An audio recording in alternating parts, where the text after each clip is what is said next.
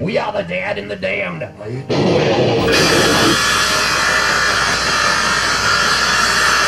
we're gonna kill all of you someday.